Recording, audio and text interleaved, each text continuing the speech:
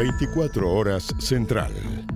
Nosotros vamos a mascar chicle y a caminar a la vez, de eso no quepa ninguna duda. Nuestro trabajo lo vamos a seguir haciendo como lo hemos hecho hasta ahora. Vamos a ver cuántas acusaciones constitucionales ingresan, hasta ahora no ha habido ninguna que sea ingresada formalmente.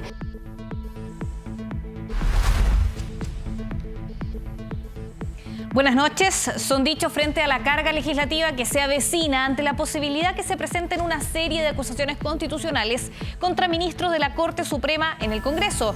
La ministra del Interior insta a los diputados a que se tomen medidas y la presidenta de la Cámara, Carol Cariola, indicó que siempre están disponibles. Aquí comienza 24 Horas Central. Con el auspicio de Movistar Fibra. Sodimac y Banco Estado. Presentamos 24 Horas Central. Es un llamado desubicado, así calificó el vicepresidente de la Cámara de Diputadas y Diputados, Erika Edo, el planteamiento de la ministra del Interior, Carolina Toá, de trabajar un día más a la semana y extender horarios para que las acusaciones constitucionales contra ministros de la Suprema no obstruyan el trámite de proyectos en el Congreso. Por su parte, la presidenta de la Cámara, Carol Cariola, indicó, tras el TDUM evangélico, que los diputados vamos a mascar chicle y a caminar a la vez. Los detalles en la siguiente nota.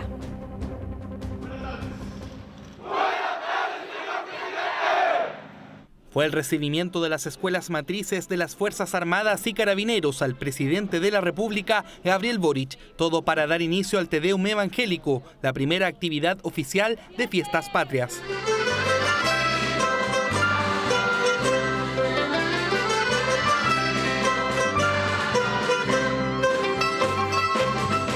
En San Bernardo marcado por la crisis del Poder Judicial y el caso Audios. Fue el propio representante de las iglesias evangélicas quien lo mencionó en su reflexión. Hay mucha justicia todavía por hacer. Es por eso que es relevante el mensaje de Miqueas en este tiempo. Él era un profeta para su pueblo en una época definitivamente compleja. Hombres que eran codiciosos y tenían la maldad en, sus decisiones. El caso Audios no solo fue referenciado en el Tedeum evangélico, también preocupa al gobierno ante un eventual estrés legislativo derivado de las múltiples acusaciones constitucionales anunciadas contra ministros de la Corte Suprema.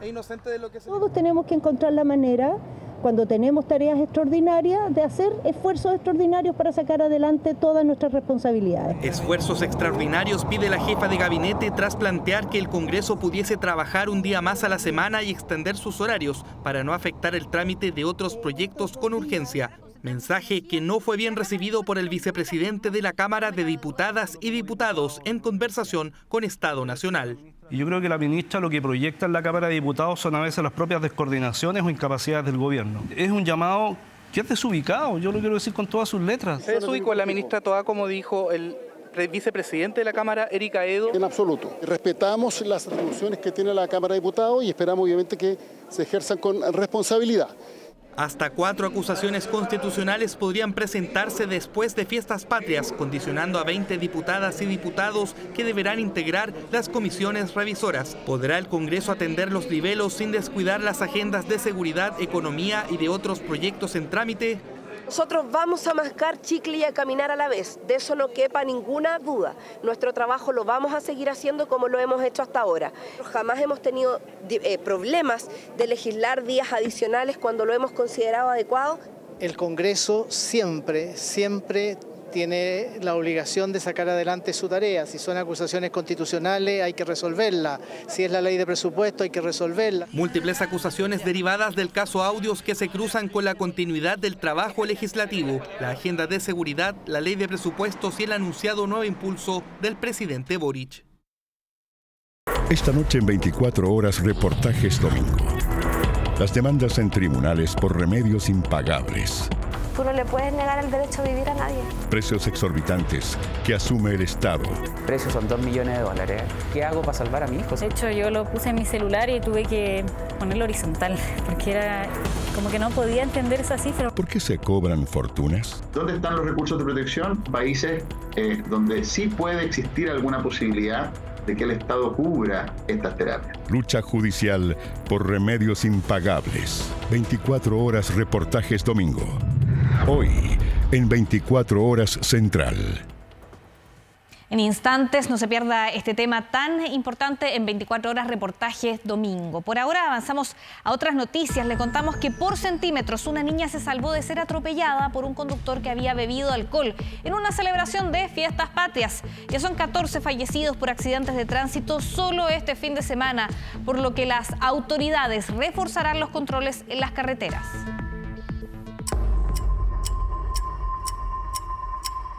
Solo segundos marcaron la diferencia. Un instante antes de lo que pudo ser una tragedia. Así se salvó una niña de ser atropellada violentamente en Isla de Maipo. Es viernes por la tarde y una madre camina tranquilamente junto a sus hijos, cuando de pronto, a la distancia, un errático conductor enciende las alertas. Colisiona con tres vehículos, los cuales se encontraban estacionados en la misma avenida. A raíz de eso, cambia su trayectoria, finalmente chocando con el cierre perimetral de la Cruz Roja ubicada en la misma comuna.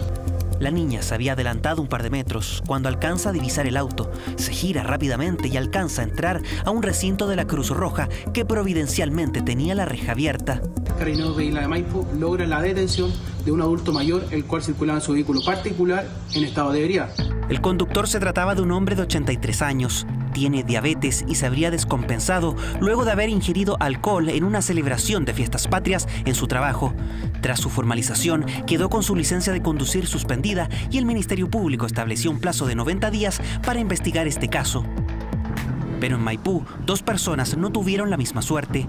La noche del sábado, un conductor arrolló a dos transeúntes en la intersección de Avenida Pajaritos con calle Hugo Bravo, a pasos del metro Las Parcelas. La Fiscalía Local de Maipú solicitó un equipo investigador CIAT para realizar todas las diligencias propias de la especialidad tales como los levantamientos planimétricos, pericias mecánicas, realizar las pruebas respiratorias de, de narcotest que correspondan. Una de las personas atropelladas resultó con lesiones graves, mientras que la otra murió en el lugar. En el fin de semana de vísperas de fiestas patrias ya se han registrado 14 fallecidos en accidentes de tránsito. Las principales causas siguen siendo las mismas, la conducción en estado de ebriedad, el no respetar eh, los límites de la velocidad y el distraerse al volante. Y también una adicional que es eh, los peatones que están también distraídos a la hora de cruzar en lugares no habilitados para cruzar.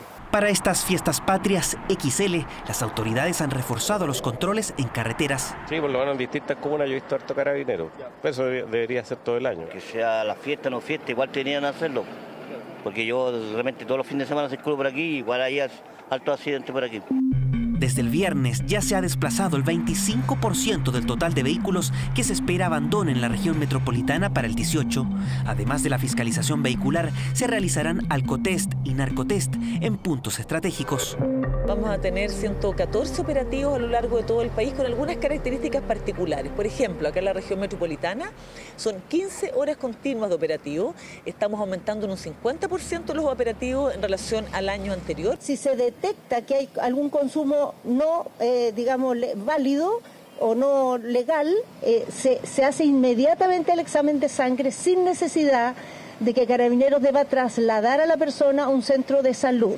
Medidas que buscan un 18 seguro en carreteras y no lamentar tristes accidentes en una celebración tan esperada por los chilenos. Tres homicidios en dos horas y en distintas comunas de la capital. Una mujer recibió 10 puñaladas cuando se bajaba de una micro. La misma cantidad de heridas registró un hombre, pero por disparos, cuando fue atacado en la calle. Delitos que se suman al de un joven de 23 años que murió de un balazo, tratando de evitar que robaran un auto en la comuna de Santiago. Llamados desesperados de auxilio. Un joven de 23 años moría en medio de la calle en Santiago. Eran cerca de las 10 de la noche y tres amigos compartían en este lugar, muy cerca del barrio Mails, escuchando música desde un auto, cuando de pronto se acercaron cuatro delincuentes a rostro descubierto. Aparece un vehículo, intentan sustraer un segundo vehículo que se encontraba en el lugar y eh, dentro de esto mantienen una discusión y efectuaron dos disparos. Uno de ellos eh, impacta a la víctima a la altura del cuello. El hombre de nacionalidad venezolana fue trasladado al Hospital San Juan de Dios, donde ingresó fallecido.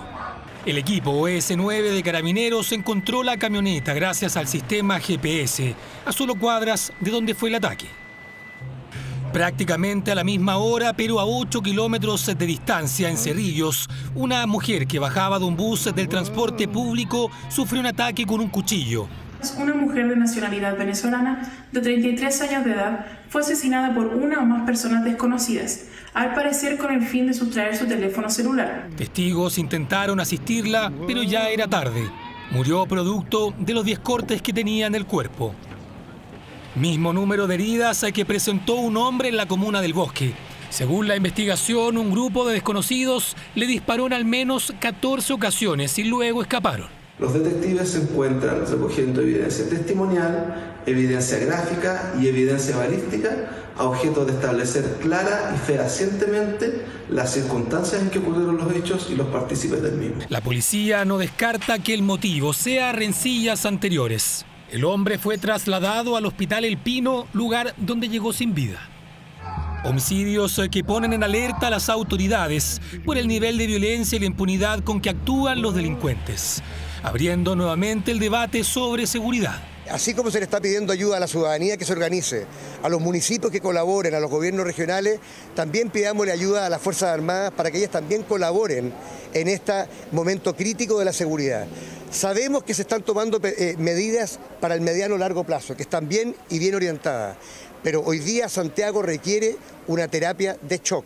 Peticiones eh, para controlar la ola de delitos y la sensación de inseguridad que se vive en la región metropolitana en la víspera de estas fiestas patrias XL. Hemos hecho un enorme esfuerzo de planificación, de coordinación y de despliegue policial con el propósito de evitar o minimizar la ocurrencia de hechos de esta naturaleza. Investigaciones a cargo de carabineros, en la PDI y el equipo ECO del Ministerio Público. Tres hechos delictuales que tienen algo en común. En ninguno de los casos, hasta el cierre de esta nota, se registran personas detenidas. Vamos a noticias internacionales. Donald Trump está a salvo después que se registraron disparos en las cercanías del campo de golf donde se encontraba. Su equipo de campaña aseguró en un comunicado que el expresidente se encuentra bien, lo que fue confirmado por Trump en otro escrito. El candidato republicano se encontraba jugando golf en su campo en Florida cuando se dieron los disparos. Las autoridades informaron que un agente del servicio secreto disparó contra un hombre armado, quien fue detenido después de escapar del lugar. Se encontró un rifle, una cámara GoPro y dos mochilas al momento de arrestar al sospechoso. El FBI llamó a no acercarse a las cercanías de la cancha de golf mientras realizan las investigaciones necesarias para lo que sería un posible nuevo intento de asesinato. Esta noticia llega a poco más de dos meses del disparo en contra de Trump mientras dirigía un acto de campaña en Pensilvania. El agente del servicio secreto que estuvo en la cancha hizo un trabajo fantástico.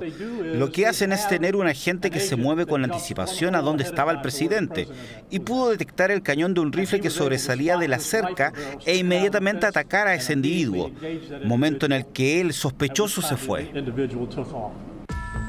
La Fiscalía determinó que el multimillonario robo al Brinks ocurrido en agosto pasado en la ciudad de Rancagua fue planificado con varios meses de anticipación y previo al atraco hubo dos reuniones en las casas de las últimas detenidas, a quienes se les encontró más de 227 millones de pesos en su poder. Los billetes hallados fueron reconocidos por la empresa de valores como parte del botín. Leila Zapata y Verónica Moscoso con los detalles. Fue cinematográfico. En menos de 10 minutos, un grupo de delincuentes se llevó más de 11 mil millones de pesos. Algunos encapuchados y otros caracterizados con pelucas y maquillaje. Usaron tres escaleras, un carro de carga y varios vehículos para llevarse el millonario cargamento desde la empresa de valores Brinks de Rancagua el pasado 16 de agosto. Se van. A esa misma hora, autos y camiones quemados aparecían en distintos puntos de la ciudad. Se lanzaron miguelitos, el objetivo distraer a las policías. Sin embargo, rápidamente se detuvo y se formalizó a gran parte de los integrantes. A casi un mes del millonario robo en operativos simultáneos en las regiones metropolitana y O'Higgins, Carabineros capturó a otros tres presuntos involucrados en el mega de Falco, dos de ellas en Cerro Navia de 69 años, en el domicilio de Leuteria Yancapán se hallaron 186 millones de pesos. Otros 27 aparecerían a solo unos metros en una casa y en el entretecho de una botillería, propiedad de Camila Cerda. Este domingo en la formalización de ambas se informó que en el caso de la primera habían 188 millones de pesos. Ella además es suegra de uno de los líderes de esta banda. Y acá no habían 27 millones de pesos, sino 40 encontrados en el entretecho de una casa y una botillería. Ella tendría relación sentimental con con otro de los imputados. Tenemos primero una declaración de un testigo protegido quien eh, se indicaba que en Cerro Navia, en unos domicilios, había llegado el dinero y que luego había sido trasladado a los domicilios de las dos mujeres. Además, se logró establecer que en las casas de ambas se hicieron dos reuniones antes del asalto en las que habría estado el guardia del Brinks, Oscar Orellana, que fue detenido y formalizado por este atraco. Su teléfono celular se situó en ese punto de Cerro Navia. En una reunión que ocurre previamente, pero además también una reunión que realizan el día 15 de agosto es decir, justo el día feriado previo a la comisión del hecho el día 16. Y luego tenemos ¿cierto? el encuentro del dinero que es reconocido por Brinks como los que ellos tenían en su bodega y en la sala de proceso del dinero. Los días previos al asalto, un testigo protegido fotografió vehículos robados en un predio agrícola a 500 metros de la casa del tercer imputado. Es José González Torres, capturado en Rancagua.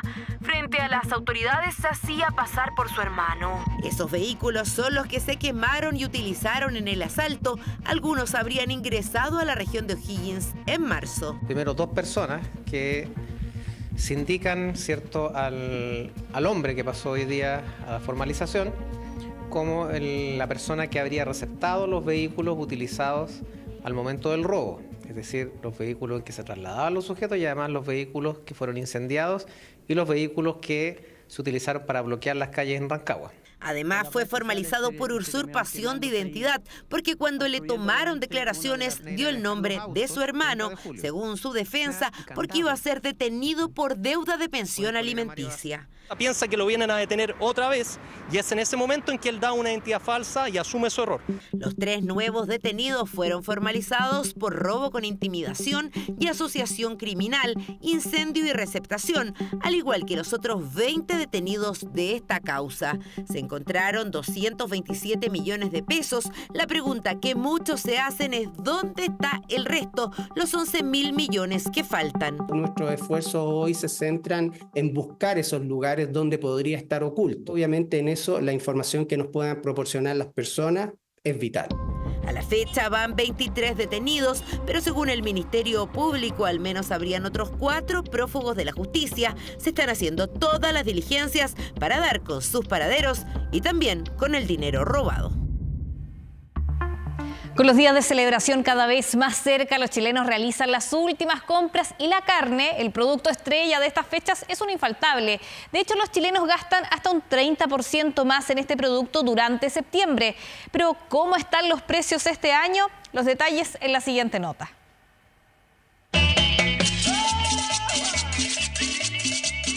Encienden las de carbón, gas o eléctricas. El formato poco importa cuando se trata de disfrutar de la carne, el producto estrella de fiestas patrias. Muy buenos para la carne. Uy, unos tres o cuatro aceitos por parte baja. No es solamente de, ahora por una fecha que sea especial. Yo como carne todos los días. Bueno, bueno. No hay nada que decir. Somos casi mejores que los argentinos para la carne ya. Algunos incluso se autoproclaman los reyes de la carne y bueno, al menos en septiembre la estadística acompaña. Según datos de Cantar World, durante este mes comemos en promedio entre 7 y 8 kilos por hogar.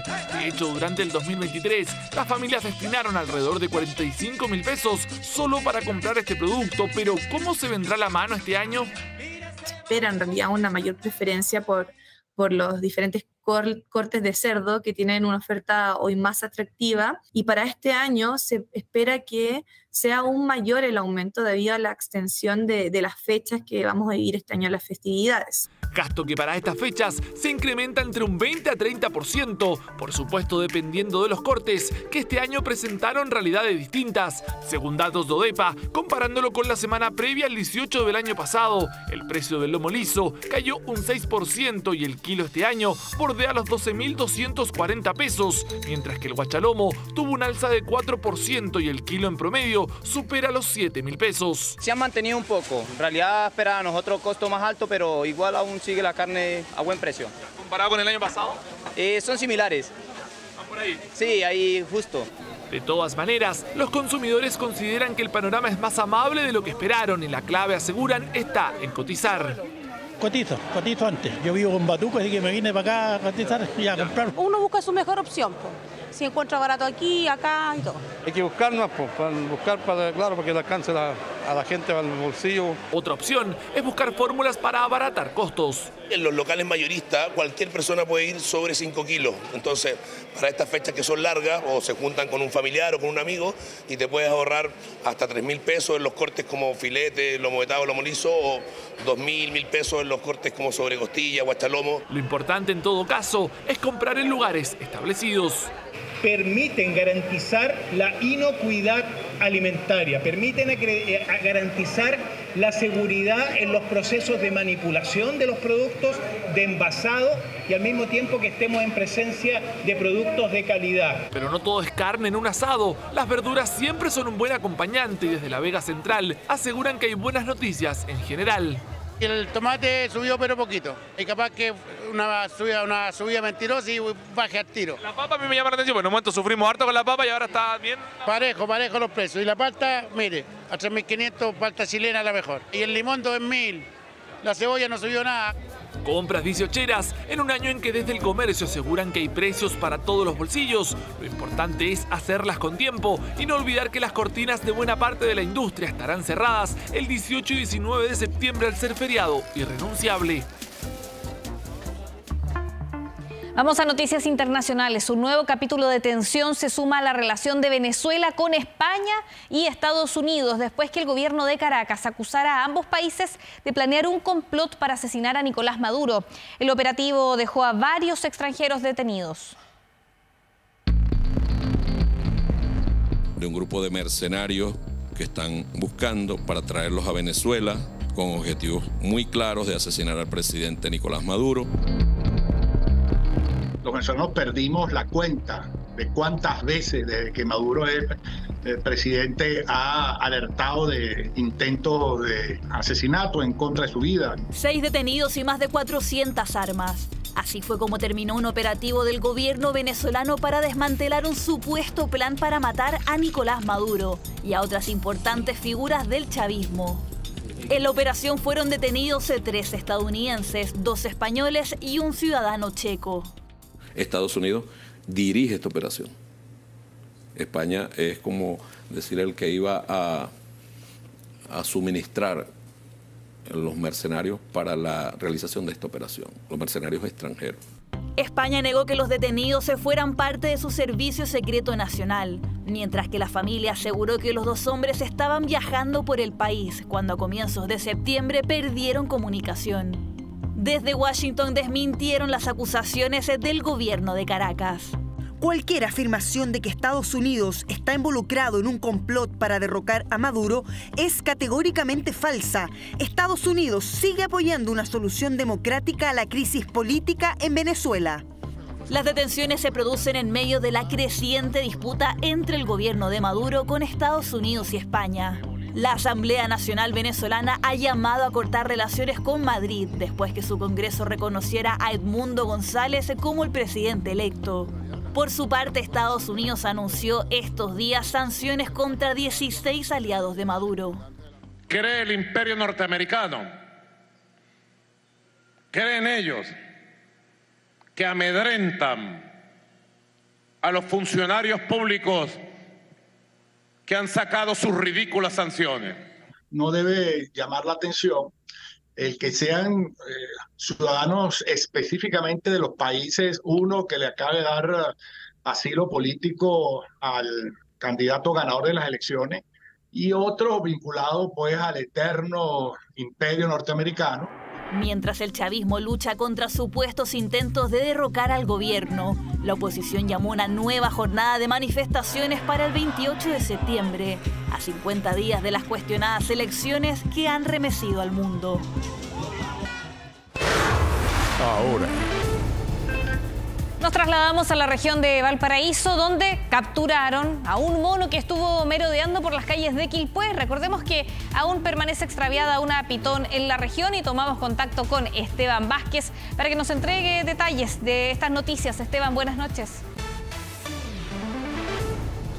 Muy buenas noches, Vale. Efectivamente, por más de cuatro horas se extendieron las labores de búsqueda de un mono caí que se extravió justamente de acá del zoológico ubicado en la comuna de Quilpué. Este animal se extravió justamente cuando estaba siendo alimentado por su cuidador y en ese momento aprovechó un espacio abierto para poder salir en, eh, al cautiverio, digamos. Esto fue por el sector de El Retiro. Ahí varios vecinos lo lograron observar deambulando por su casas, tanto por sus techos como por sus rejas, a viva del día, digamos, esto generando también incertidumbre en algunos momentos por lo que podía causar. Este animal estaba con eh, principalmente miedos a ser eh, capturado o ser atrapado, corría cuando se acercaba a los vecinos y también tenía temor de los animales. Esto se habría generado por un eh, problema de protocolo y fueron vecinos justamente junto con una ONG quienes lograron rescatar a este animal y capturarlo para posteriormente traerlo. Escuchemos un poquito su relato de cómo fue el momento de la captura. Espero que ahora el veterinario del zoológico haga una evaluación y vea en qué estado está, se encuentra. Ahora va a ser trasladado al centro donde se escapó. Un vecino fue el que lo buscó, lo logró capturar y nosotros hicimos lo que es la, recaptura, digamos, y ahora hacemos el traslado de la especie. Andaba buscando ramas para hacer una fonda en la casa y de repente apareció el mono en la calle. Y lo seguí, lo seguí, me saqué el polerón, se metió a la casa, se metió a las piezas, después se metió a la cocina. ¿En la cocina lo pilló? En la cocina lo pilló. Justamente este monito fue trasladado acá hasta el zoológico de Quilpué donde se le realizarán las evaluaciones médicas correspondientes por si pudo haber tenido contacto con algún otro animal o no. Habló el Ceremi de Agricultura, Sergio Salvador, quien mencionó que se trató de una falla de protocolo, justamente lo que había provocado esta salida del mono de su lugar donde se mantiene día a día y además informó que se va a instruir también una investigación para, acontecer, para revisar con detalle, bien digo, de lo que aconteció acá en la comuna de Quilpué una falla en el protocolo interno, eh, una fuga en el momento de la alimentación y eso es lo que, se, lo que se baraja a través del Servicio Agrícola Ganadero, es realizar la fiscalización correspondiente. Este recinto cuenta con toda la normativa al día, con todos los permisos vigentes y eh, el SAC lo que va a hacer es levantar una investigación, a levantar también una ADC, que es un acta de denuncia y citación, junto con seguramente va a arrojar también una multa. Esteban, también hablábamos de esta serpiente pitón que había escapado hace, hace unos días. Eh, ¿Se sabe algo más? Porque en un principio se había dicho que, que la habían logrado capturar. ¿Fue así o no? No, dicha serpiente que fue encontrada en, o sea, que más bien se extravió en Valparaíso, no fue encontrada, fue un error comunicacional por parte de la delegación presidencial. Esta pitón sigue en eh, búsqueda, digamos, los servicios del SAC, entre otros, pero de momento esas búsquedas no han tenido resultados positivos y la pitón sigue desaparecida en la comuna de Valparaíso. Perfecto, Esteban Vázquez, muchas gracias por toda la información y buenas noches. Muy buenas noches. 24 horas. Reportajes domingo. Parece increíble, pero los remedios más caros del mundo siguen aumentando su precio y son cada vez más inaccesibles. Si hace unos años el costo era de 2.000 millones de pesos, hoy hay terapias génicas que cuestan 3.500 millones. Precios impagables y familias desesperadas que demandan al Estado para conseguirlos. A la fecha han ganado el 98% de los recursos de protección. Más allá de eso, nos preguntamos por qué estos fármacos llegan a costar verdaderas fortunas. Vamos con el eh, reportaje domingo de Pablo Álvarez y Verónica Moscoso.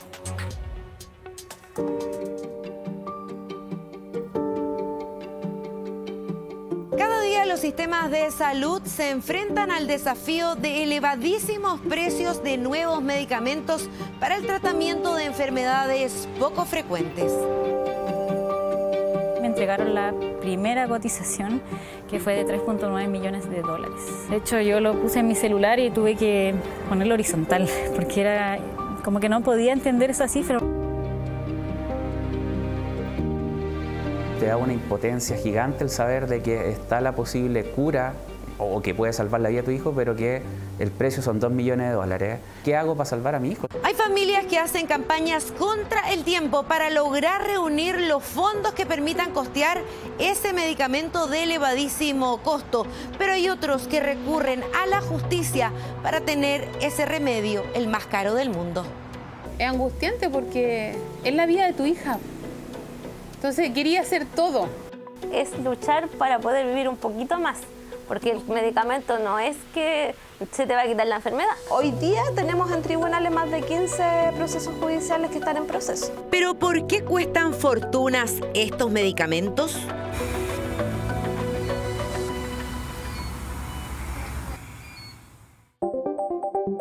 Del 2017 a la fecha llegaron a la Corte Suprema 106 recursos de protección solicitando que se financiara un medicamento de altísimo costo. La gran mayoría pacientes diagnosticados con AME, atrofia muscular espinal. Krishna Oyarzo, hoy con 24 años, fue una de las que vio la batalla judicial. Tenía un año de vida cuando fue diagnosticada de esta enfermedad degenerativa poco frecuente. En esa época no se hablaba aún de los remedios más caros del mundo, ni tampoco existía tratamiento para esta patología. Porque ella caminaba, ella nació sana. Y al año, al año y medio le dio esta bronconeumonía y después salí con mi hija así el pronóstico, recuerda, fue lapidario. Yo me acuerdo a los 6 años que el doctor me dijo, no, si tú no vas a vivir más de los 8 años, después los 18. Yo ah, me atemorizaba a cumplir 18 por eso. Entonces me dijo, no, así como vais, hasta los 18 ya se te va a parar el corazón y no va a llegar. Y yo en pandemia, Krishna empezó a perder la fuerza en todos los músculos. El deterioro en el cuerpo era cada vez mayor. Su madre, en esta lucha incansable, presentó un recurso de protección contra el Estado para conseguir un medicamento que al año tiene un costo de 306 millones de pesos. No fue nada fácil el proceso en tribunales me sentía mal, la demanda estaba en curso, que no avanzaba, que se esperó esto, que no han respondido, que FONASA no nada, que después el hospital nada, entonces eh, así como que uno no, no termina nunca la batalla. Son remedios que una caja al mes puede costar 30 millones, 60 millones, 45 millones.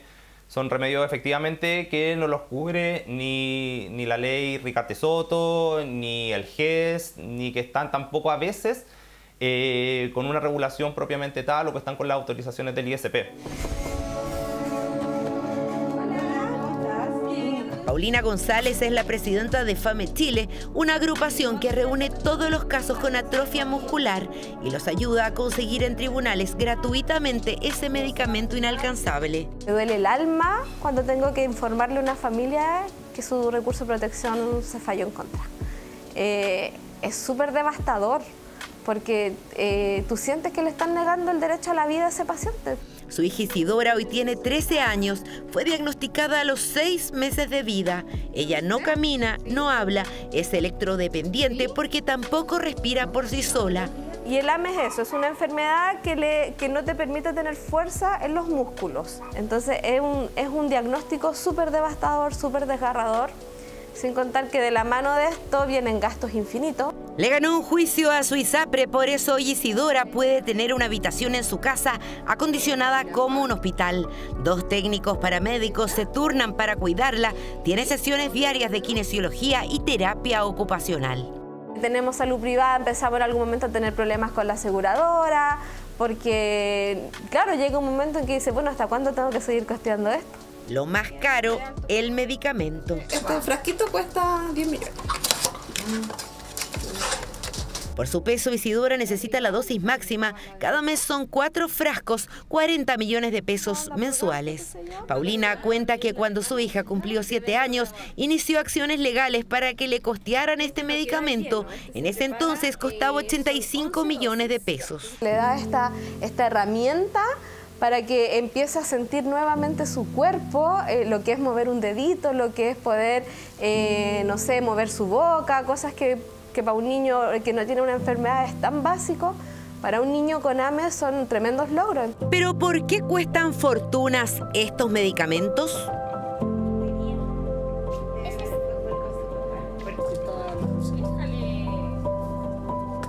Al ver a Rafita jugando cuesta creer también que tiene atrofia muscular espinal de tipo 1. Está próximo a cumplir cuatro años y se desenvuelve como cualquier niño de su edad. Si hoy lo vemos corriendo, hablando y nadando, es porque él fue diagnosticado a las dos semanas de vida y recibió antes de los seis meses el medicamento más caro del mundo.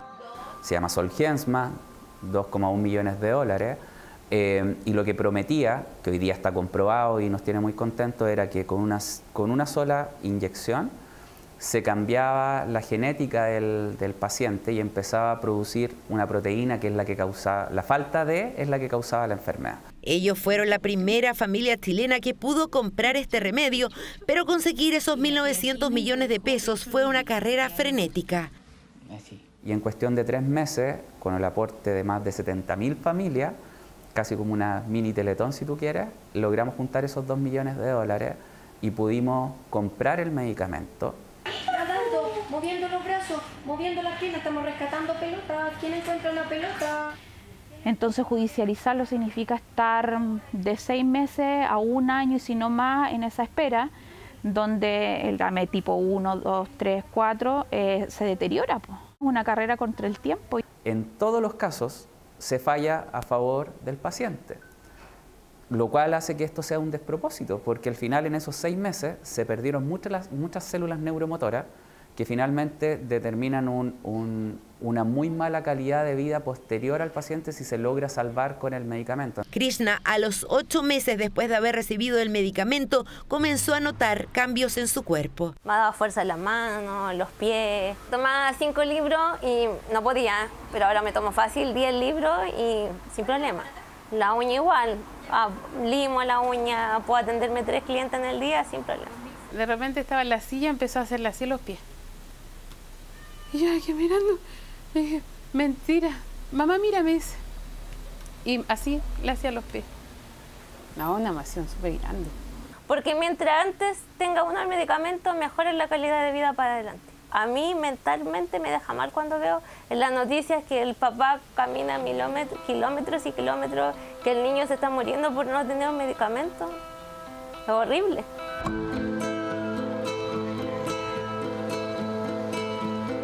Pasado 28 de abril, todo Chile se conmocionó con el caso de Tomás Ross, un niño de 5 años diagnosticado con distrofia muscular de Duchenne.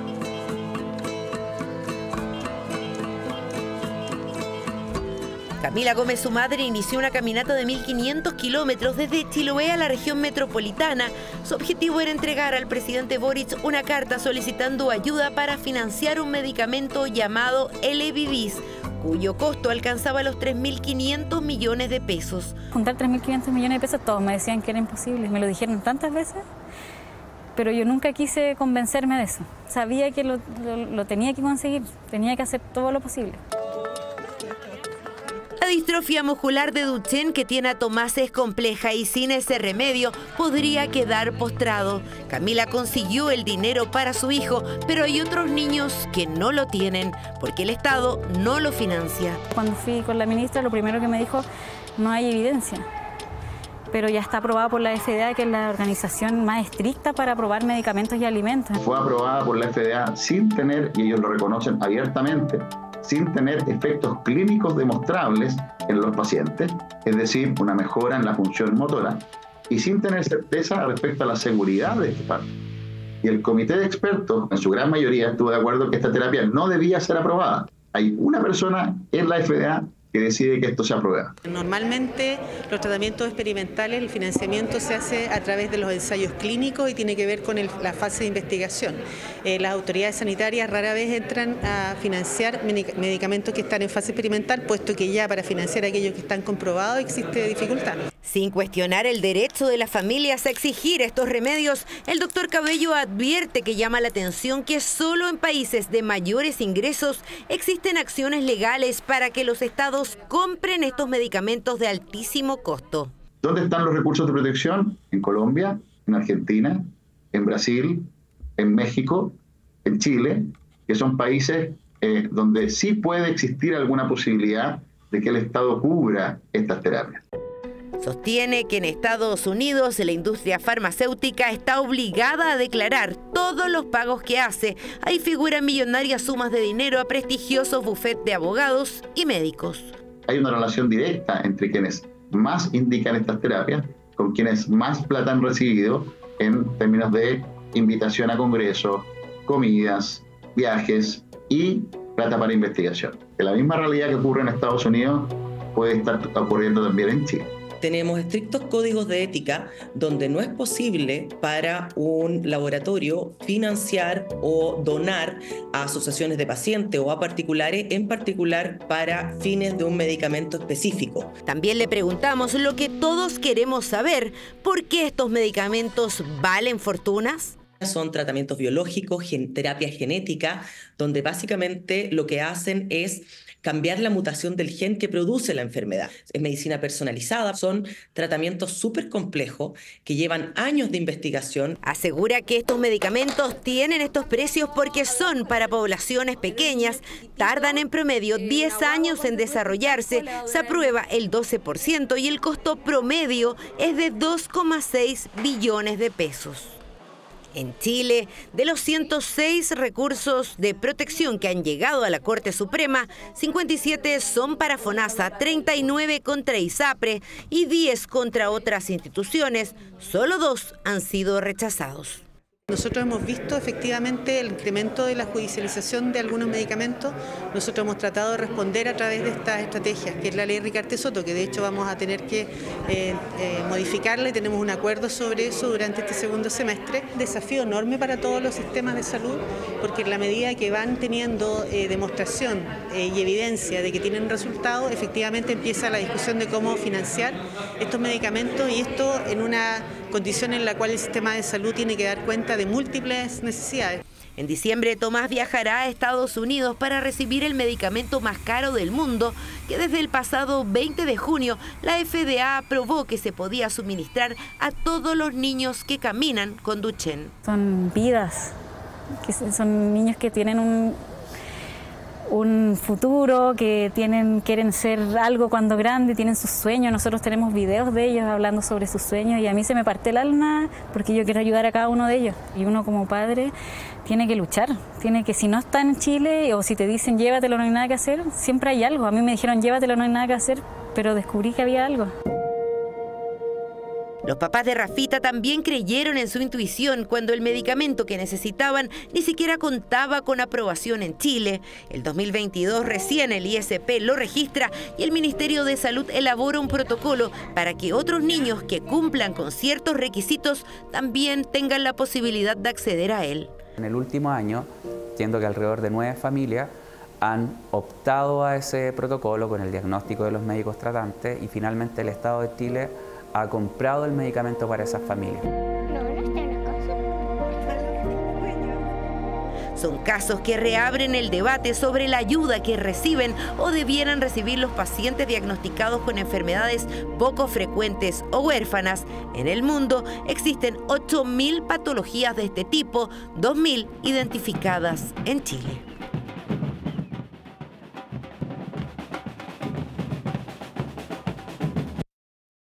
Ya volvemos con 24 horas central. Estamos viendo 24 horas central.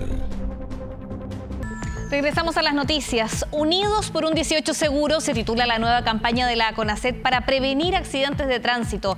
En 24 horas quisimos hacer un viaje por algunas de las campañas históricas, conocer sus relatos y el impacto que generaron. Seguro las va a recordar. I know you think you drive well. That speeding feels like the right thing to do. En 2013, en exclusiva para Chile, el siete veces ganador de la Fórmula 1, Michael Schumacher, le entregó un mensaje a todos aquellos que se creían el multicampeón de las pistas en las calles de nuestro país. Please, don't be stupid. Se acercan las fiestas patrias y vuelven las campañas para la prevención de accidentes de tránsito. Estas también son una tradición. No se deje llevar por la ley de la selva. Respeta las leyes del tránsito. Respeta tu vida. Hay campañas que nacen como un sueño. Desde Chile escribieron una carta dirigida al expiloto alemán para explicarle que acá, a los conductores que excedían las velocidades máximas, se les decía Schumacher. No nos esperamos una respuesta, pero contestó realmente y muy sorprendido nos contestó, diciendo que cómo era posible que, que las personas relacionaban su nombre con, con, las altas velocidades. Simplemente quería dar un, un mensaje de prevención, de concientización sin cobrar ni un peso. Eso fue también muy noble de su parte. Algunas dejaron su marca en la memoria colectiva y qué duda cabe si la campaña que está viendo tuvo su reversión 30 años después, protagonizada por el mismo Guido Becchiola.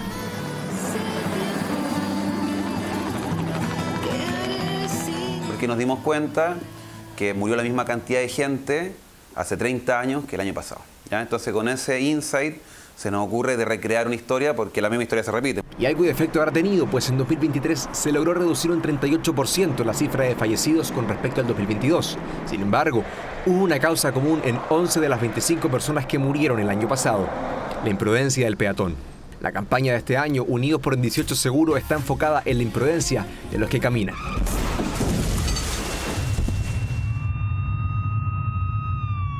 La publicidad busca conectar con las personas. Busca conectar desde las emociones, desde historias que te pueden pasar. Y acá lo que quisimos hacer es retratar, ¿cierto? Eh, algo que te podría pasar más allá de una historia bonita. Creemos que hemos hecho de todo. Eh, se han contado diferentes tipos de historias, dramáticas, bonitas, eh, simpáticas. Y acá lo que estamos buscando justamente es impactar con, con la realidad. Si de realidad hablamos, en la actividad de presentación de la campaña de este año, liderada por el presidente Boric, estuvo presente la madre de Soraya, quien es una de las 17.734 personas que murieron por accidentes de tránsito en los últimos 10 años. Juanita, los niños tuvieron accidentes. Y le digo yo, ¿pero cómo ya? Eh, ¿Cómo están? Me dice, la niña falleció. Así, de un minuto para otro, nuestra vida, nuestra familia quebrada. ¿Por qué? Por un imprudente al volante. ¿Cuántos abrazos, cuántos cumpleaños, cuántas alegrías o cuántas historias nos perdimos de Soraya y de cuántos más? En la búsqueda de bajar la tasa de accidentes se han conseguido números positivos. Por ejemplo, hasta fines de agosto se registró casi un 20% menos de fallecidos en accidentes de tránsito que el año pasado. Incluso el mes de junio se ubica como uno de los meses con menos muertes desde que se tiene registro. Quizá las campañas también estén ayudando. Ya volvemos con 24 horas central. Estamos viendo 24 horas central. Regresamos a 24 horas central y les contamos que tras 70 años de funcionamiento, la compañía siderúrgica Huachipato inicia su proceso de cierre con el apagado del alto horno y el cese de otras divisiones. Mientras tanto, el gobierno prepara un plan de fortalecimiento económico para mitigar los efectos del cierre. La siderúrgica Huachipato escribe las últimas líneas de su historia. La compañía iniciará en la madrugada de este lunes el apagado de su histórico alto horno y detendrá las labores de la acería. Ellos son Erwin y José. Llevan años trabajando en la empresa. Tuvieron su último turno al interior del horno y ahora se despiden del acero. Tristeza por una parte, eh, por otra parte, como se llegó a un buen puerto con el tema de término de conflicto, los dirigentes, Así que una mezcla de ambas cosas. Esta fecha está esperando, eh, no sé, pues, celebrar un 18 con la familia y todo, pero para nosotros, para, para la familia cerera, es algo que está, está golpeando fuerte dentro de. a todos, a todos, a todos lo está golpeando. Cierre definitivo de la compañía que trae coletazos. Son aproximadamente 20.000 los puestos de trabajo que se perderán tras la suspensión definitiva de las operaciones que producían acero chileno. Con el apagado del alto horno se inicia un proceso irreversible que finalizará en el futuro mes de octubre. Es una situación eh, que no tiene nombre, no, no, no hay cómo calificar este cierre de esta empresa. Así que por lo tanto aquí estamos.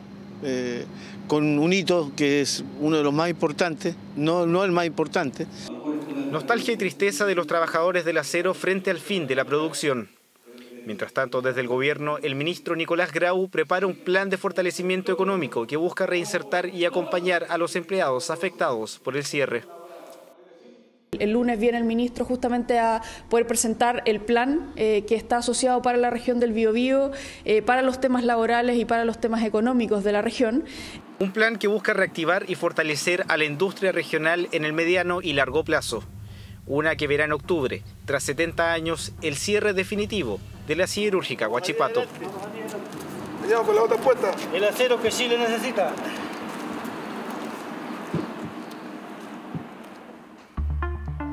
Revisamos noticias del exterior. Hay conmoción en Ecuador tras el asesinato de la directora de la cárcel más grande del país. El segundo atentado contra una autoridad carcelaria en menos de nueve días, en medio de todo esto del conflicto armado que atraviesa este país. Noticia de último momento. En Ecuador continúan los crímenes de violencia. Allí, en la mitad del mundo. La crisis de violencia que azota Ecuador tiene como protagonistas las bandas criminales que operan dentro y fuera de las cárceles y que esta semana sumó un nuevo episodio fue atacada a tiros la directora encargada del Centro de Privación de Libertad Guayas número 1. La carretera que une la localidad de Daule y la ciudad costera de Guayaquil fue el escenario de este brutal crimen que mantiene en alerta a Ecuador. María Daniela Icaza, la directora de la cárcel más grande del país, fue asesinada a tiros luego que hombres armados apuntaran contra el vehículo en el que viajaba. Lo que quieren comunicar es que siguen ellos teniendo el control, ¿no? Y que cualquier otra persona eh, que, que, que vaya a poner como director o directora de esta, de esta cárcel o de cualquier otra, pues eh, deberá de alguna manera someterse a, a, los pedidos de estas bandas. Y es que este tipo de crímenes se han vuelto recurrentes en las calles ecuatorianas. De hecho, este es el segundo asesinato de la máxima autoridad de una prisión en solo nueve días, lo que agudiza la crisis carcelaria en la que vive Ecuador desde 2020, marcada por la violencia entre bandas, motines y ataques directos contra autoridades penitenciarias tienen control especialmente en la costa de Ecuador, en donde el objetivo de ellos es tomar control de los puertos para poder sacar la droga eh, hacia Estados Unidos y, eh, Europa. Tienen eh, mucho control de las cárceles. Eh, mucho contacto político. Las bandas cuentan con un importante poder dentro del país, razón por la que el presidente Daniel Novoa canaliza sus esfuerzos en una guerra interna contra el conflicto armado, desplegando militares en las calles para combatir a estos grupos de la delincuencia. El viejo Ecuador quedó en evidencia prefieren ver a Ecuador arder con tal de reinar sobre sus cenizas. Hoy solo se enfrentan a un gobierno que no se va a esconder ni a retroceder. Eh, yo te diría que funcionan eh, mientras duran los estados de excepción. Una vez que termina el estado de excepción, eh, es como que las bandas dicen, pues bueno, tengo vía libre y comienzas a ver una, una, una escalada de, de, hechos violentos. Información que las cifras respaldan. Según datos oficiales, entre 2021 y 2023 murieron más de 500 presos en enfrentamientos de bandas rivales dentro de las cárceles ecuatorianas. Un hecho que aumenta la preocupación dentro y fuera de un país que hace cuatro años vive sumido en la violencia. La tormenta Boris mantiene en vilo a las autoridades europeas, quienes han enfrentado intensas lluvias e inundaciones destructivas en las últimas jornadas. Los expertos ya han advertido que las consecuencias serán históricas.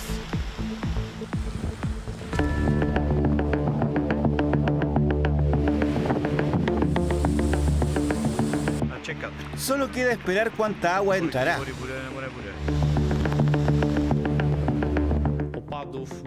Las precipitaciones serán de importancia fundamental para lo que ocurra más tarde en Polonia.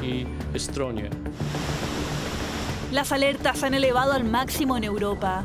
Y es que una poderosa tormenta se ha instalado en varios países del centro y este del continente, provocando intensas lluvias e inundaciones. La fuerza de las precipitaciones ya ha causado estragos en numerosos puntos de la región. El choque de dos masas de aire, una cálida y una fría. Entonces por eso se generó esta tormenta, que es una tormenta muy intensa que ha dejado inundaciones en gran parte de las zonas que ha afectado, con precipitaciones montos récord, en varios lugares también, algo que no se veía hace muchísimo tiempo, cerca de 100 años dicen en algunos lugares, así que algo bien característico. Miles de personas están bajo advertencia por el desborde de ríos e inundaciones repentinas. Austria decretó estado de catástrofe, Polonia evacuó a los residentes en áreas de riesgo y en República Checa se ha desplegado a los bomberos para ayudar a la población afectada.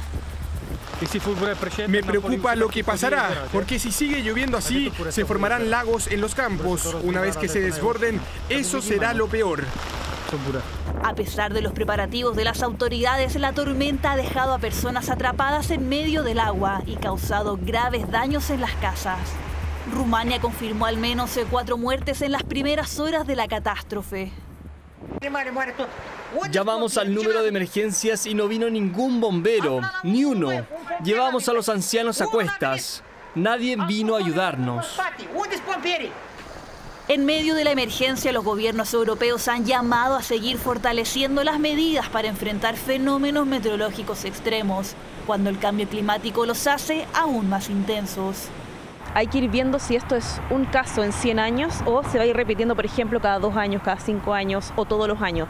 Si vemos que este tipo de tormentas tan intensas afectan todos los años, de aquí en adelante claramente sí o sí está ligada al calentamiento global, al cambio climático, pero hay que ir viendo. Las fuertes lluvias no se detendrán durante los próximos días en la región central del viejo continente, en lo que los expertos creen que se convertirán en las inundaciones más importantes de las últimas décadas. 24horas.cl Banco Estado sorprendió hace unos días anunciando un sorteo para sus clientes en el que destacan premios como compras gratis en supermercados, viajes fuera del país y gift cards. La información sobre cómo participar y cuándo se anunciarán los ganadores la encontrará en 24horas.cl. Y se acaban las noticias, ya llega el tiempo y luego ahora caigo Prime. Que tengan una excelente noche y excelente semana de Fiestas Patrias.